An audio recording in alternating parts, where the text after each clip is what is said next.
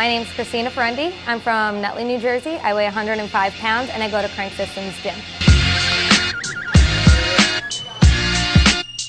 I've been working at Krank. I began my powerlifting journey with Matt Bustos and Abe's Abdon, and then to prepare for this competition, I started working with AJ Komoda, who really was able to help me fix a lot of my form, especially in bench and deads, and now I feel a lot more confident uh, going into those movements too. Today at RPS, I did my first squat attempt at 185. That one felt really good. It felt comfortable, it felt light, easy. My next attempt was 195, which would have been a PR for me, but I couldn't get that for my second attempt or my third attempt. Uh, I feel I got to work on keeping my upper back tight once I get in the hole to push myself out. But I'm proud that I was able to get my first lift in.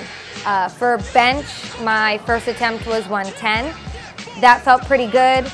It was definitely different benching here. The, the bench is different, the bar is different, so that was something to get used to. My second and third attempts were both at 115. I wasn't able to do them. Might have been nerves, might have been not warmed up enough, but I have some goals that I want to work for for the next time for that.